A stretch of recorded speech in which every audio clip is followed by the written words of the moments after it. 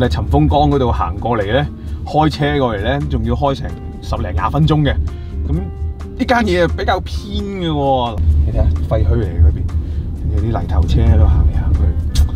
呢度嘅感覺係真係唔似有咩好嘢食，但係呢間嘢開咗廿年，unbelievable。哎，見到啦！哎呀，各位見唔見到啊？嗰間嘢好搞笑，叫攞粥飯店，攞粥啊攞粥啊，加多個飯店兩個字，你咩意思？搞笑啊呢邊，哎呦！咁啊，今日要試嘅呢間餐廳咧，佢哋嘅特色招牌咧係香芋攞粥。唉，即係啱我啦，係咪？仲有好多傳統小食嘅喎，都係啱我嘅。煎粽，仲有咩話？鹹薄撐，哇！全部都係碳水喎，大佬。好啦，試一試呢一間咧喺金沙洲都應該深受當地居民喜歡嘅一間餐廳啦。因為一啲傳統小食咧喺市中心咧未必間間都有㗎啦。感覺就係講叫咩咧？叫做腸粉飯店，明白？即係種感覺就係咁樣。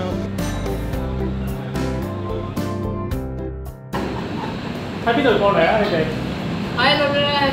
我哋係拍美食節目嘅啫，我哋唔係新聞嘅，唔係電視台。對面海，呢係富婆嚟嘅。我係富二代，我心中富有。有啲咩特色啊？攞粥啊，梗係要食噶啦。粥啊！咪蒸個排骨咯，好嘛？你以為都有排骨食，係嘛要食個豉汁蒸排骨，泥巴雞又好食噶嘛。即係冇視為冇泥巴雞，但係你要特色少少。好啊好啊泥巴雞好食，啲唔係貴啊，幾廿蚊一隻，嚇咁平啊？八十幾嘅啫。哦，都唔算話好貴。就起碼要百二蚊一隻雞。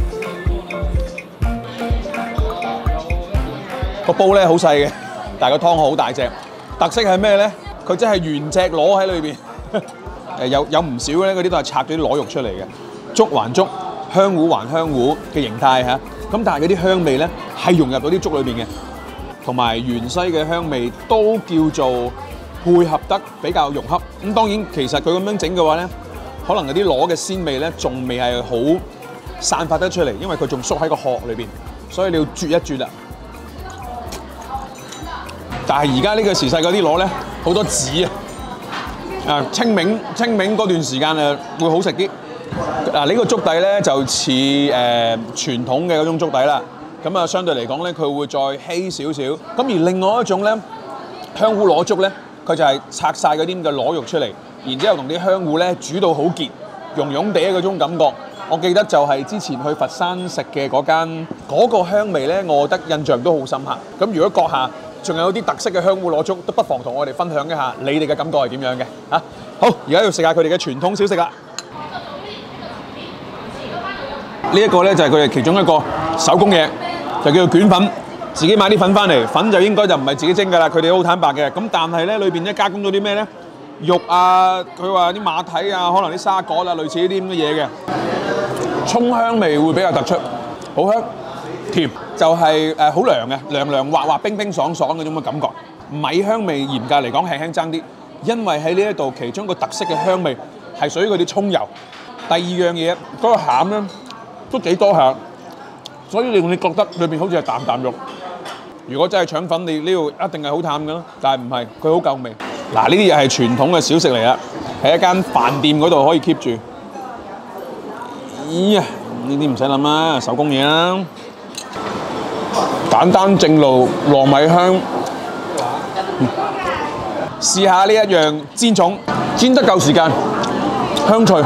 佢個粽底係嗰啲鹹味係夠嘅，鹹香味係夠嘅。所以嘅話咧，有啲種咧可能鹹香味唔夠嘅話，你煎完之後咧，你仲要落少豉油。呢、個唔需要，呢、個鹹香味 OK。表面香脆，裏邊係軟糯，豆味又夠香，糯味又夠煙韌，得㗎唔錯。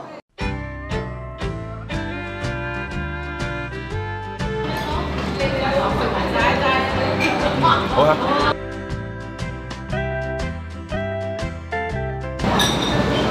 會燶啊嘛，就係燶咗啲就啦，係燶。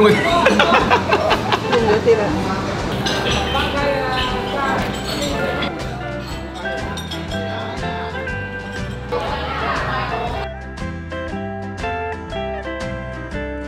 其實佢拆開嘅時候咧，首先係好香嘅，咁而打開之後咧，佢啲醬料咧都好濃郁，同埋都唔少。食呢一個咧，更多嘅係佢嘅香味，雞油嘅香味、荷葉嘅香味、醬料嘅香味。嗯，你唔好睇佢好深色，其實佢唔會好鹹，焦焦地嘅窿味。一般嗰啲搖雞咧，其實各地嘅做法都唔一樣。時間控制得唔好嘅話咧，佢啲雞皮咧就會化。佢哋呢一邊咧控制得仲算唔錯，啲雞皮仲係比較彈同埋比較爽嘅啲雞皮，你可以見到。所以佢嘅時間掌握得其實叫唔錯嘅。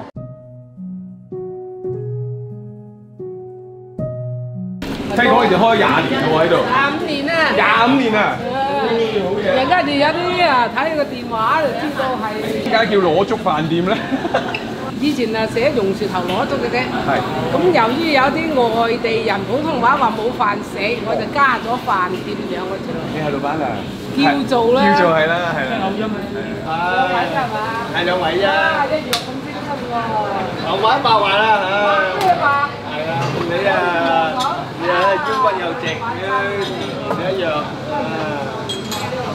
喂係整個羅鐘，開好耐喺度。哦，我睇下先，廿年前我就已經喺度食啦。人少啊嘛。仲有咧請翻請翻 fans 過嚟，我自己佢自己嚟㗎，佢嚟我唔知。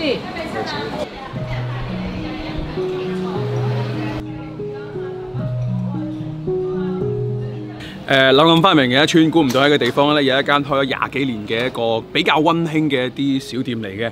咁啊，其實佢各方面嘅出品咧都 OK，尤其係一啲傳統嘅特色小食。誒，佢就話啦，係啊，啲出邊嘅朋友入到嚟食都係以食嗰啲為主嘅，本地人啊食到厭咯，就係咁上下啦。咁啊，更加多嘅咧就係話你哋可以捐窿捐啊，揾到一間突然間係咁樣嘅餐廳呢，其實呢個發現之旅都有啲新意啊！